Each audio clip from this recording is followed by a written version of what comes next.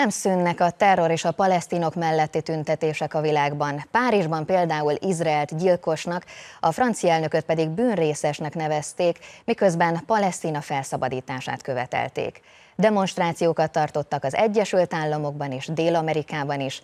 Budapesten viszont továbbra sem lehet a terror mellett tüntetni. Egy mára tervezett demonstrációt is betiltott a rendőrség.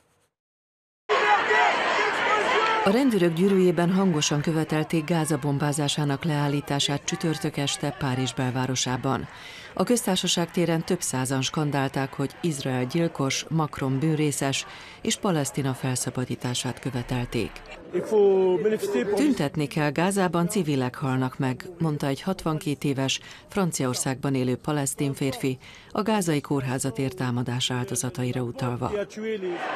A plakátokon a soha többé az Gázára is érvényes, valamint mi nem vagyunk antiszemiták volt olvasható, miközben végig a zsidókat gyalázták.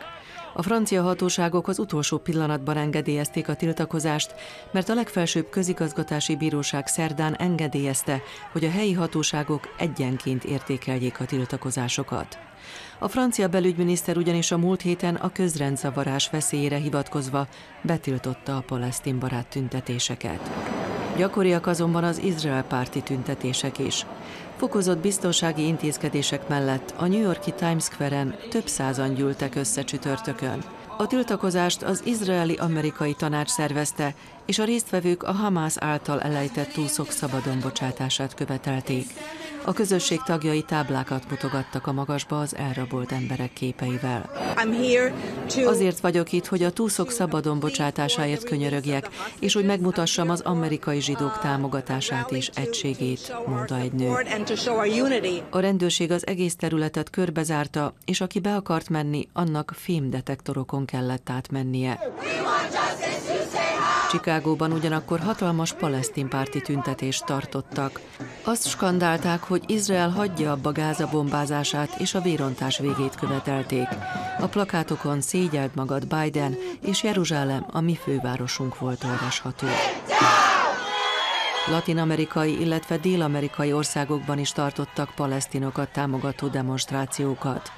Csillében sok helyi lakos is csatlakozott a megmozduláshoz.